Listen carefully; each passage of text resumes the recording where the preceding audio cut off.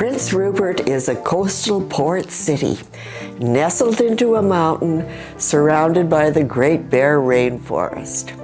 Just a boat ride away, you can spot grizzly bears, wolves, orcas, and humpbacks.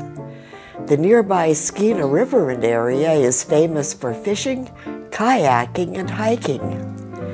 Prince Rupert's ice-free harbor serves the lumber, mining, and agricultural areas of northern British Columbia. After the Second World War, fishing, particularly for salmon and halibut, and forestry became the main industries. Prince Rupert was considered the halibut capital of the world. Prince Rupert has a solid economic base of transport and logistics, tourism and resource sectors, as well as a consumer base for small business. Prince Rupert is known as the City of Rainbows. It is Canada's wettest city with an annual average of 620 millimeters or 103 inches of precipitation. Each year, at least 240 days receive some measurable precipitation. The city's founder, Charles Melville Hays, was the general manager of the Grand Trunk Pacific Railway. He envisioned Prince Rupert as the western terminus of the Transcontinental Railroad and a world famous port. Prince Rupert is the terminus for ferry traffic to southeastern Alaska, Haida Gwaii, and Vancouver Island. It has one of the world's deepest natural ice-free harbors. Its 15,000 inhabitants enjoy a marine climate with summer temperatures in the low 20 degrees Celsius. Winter temperatures are between 0 and 10. Prince Rupert is in the heart of Tsimshian territory.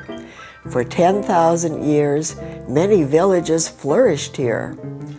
European explorers first arrived off the northern coast in the 18th century. They began a maritime fur trade with the Tsimshian and the neighboring Nisga'a, Haida, and Heiltsuk nations. It was August 1961 before Prince Rupert had its first airport. It was built by the federal government on Digby Island on the west side of the harbor. But the presence of aviation goes back to 1921. The Prince Rupert Daily News announced the arrival of the first aircraft. It did not arrive by air. It arrived on a railroad flat car. Clarence O. Prest of Las Vegas set out from Nevada in his war surplus trainer, a Curtiss JN4 Jenny. Prest was attempting to fly from Mexico to Siberia. His aircraft, named the Polar Bear, entered Canada in early August 1921. He barnstormed his way north. By the latter part of August 1921, Prest was in Hazelton, but had an engine failure on takeoff. He was forced to land in a field next to the Skeena River.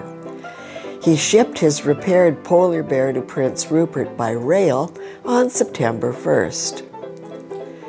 The city fathers prevailed upon Prest to delay his departure to Wrangell, Alaska, so he could partake in the city's agricultural and industrial exhibition about two weeks later on Acropolis Hill, now known as Roosevelt Park. A tennis court and playing field were linked for the event, with a planked bridge across a small gully. This proved to be sufficient for Prest to take off, but the polar bear had no brakes a local pioneer, George Frizzell, came up with a solution string a seine net across the field to stop the Jenny if need be. The promoters and spectators were thrilled as a series of flights were successfully completed for two days. But on the last flight of the second day, Prest ran into the net and into rocks at the end of the field breaking the propeller and damaging a wing. Before Prest could complete his series of flights, he was arrested and jailed for participating in gainful activities, referring to his barnstorming and giving joy rides in a number of British Columbia and Alberta towns. Prince Rupert's city fathers intervened, and Prest was released from jail. Prest ordered a new propeller from Seattle. It arrived by steamship. On September 22nd, Prest left for Wrangell, but poor weather forced a return.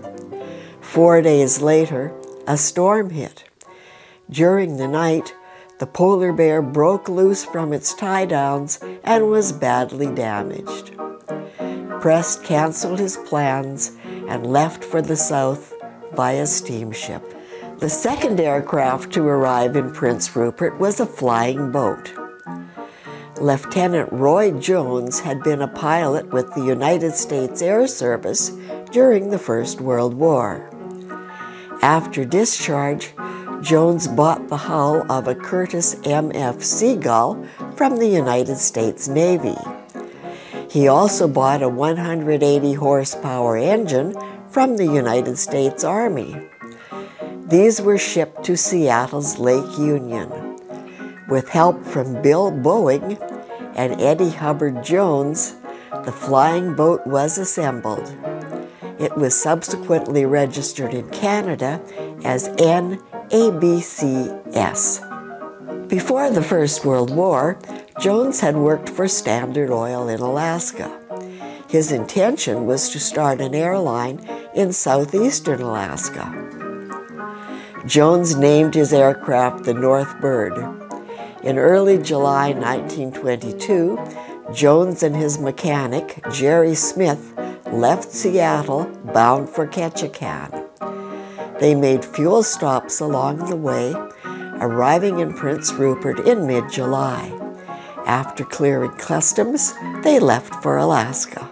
Another aircraft visited in the early summer of 1922 the German built Junkers Larsen JL 6, known as Vic.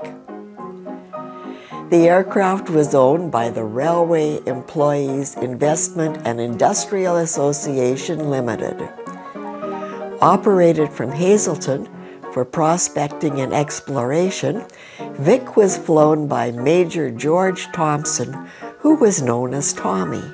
Prince Rupert had been selected as a sub-base for the Jericho Beach Air Station to enable the station's aircraft to provide air transport to the Department of Fisheries and make aerial inspections of the area. The first Canadian aircraft to fly up the coast was a Curtiss HS-2L. It left Jericho Beach early on July 23, 1923, making stops at Alert Bay and Bella Bella, arriving at Prince Rupert late that afternoon. The flying boat was flown by squadron leader Earl Godfrey with Harold Davenport as crewman. Godfrey was met by Lieutenant Earl McLeod, who wasted no time in setting up a base of operations at Seal Cove, adjacent to downtown. His selection of Seal Cove proved to be a far sighted decision. The cove was used continuously, first by the Air Force and later by commercial operations. It is still in use. McLeod made his first flight around Haida Gwaii, then known as the Queen Charlotte Islands, from Seal Cove in late August 1923. After the success of the New York to Nome flight of 1920, General William Mitchell, Assistant Chief of the United States Air Service, believed a world flight would attract public recognition and congressional funding for his struggling air service. The aircraft chosen were five Douglas DWC World Cruisers. Four of the aircraft would take part. One would be held in reserve. The DWCs were two-seaters powered by a 450 horsepower Liberty engine. The event would start at Seattle. The aircraft would be equipped with floats at the Sandpoint Naval Air Station after being delivered from Santa Monica, California. The four aircraft took off on April 6, 1924. They flew for six hours and 10 minutes, nonstop, for 650 miles to Prince Rupert. While flying up the inside passage in poor weather, two came close to colliding with a coastal steamer.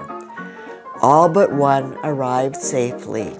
Its float struts were damaged, landing in a snowstorm at Prince Rupert. Prince Rupert workmen fabricated new Sitka spruce struts, milled locally. Pilots and crew were hosted with a civic banquet. The four DWCs left on April 10th. Their itinerary Sitka, the Aleutian Islands, Japan, India, Hungary, London, Iceland. They arrived back at the Sandpoint Naval Air Station in Seattle after a flight of 175 days and 27,553 miles.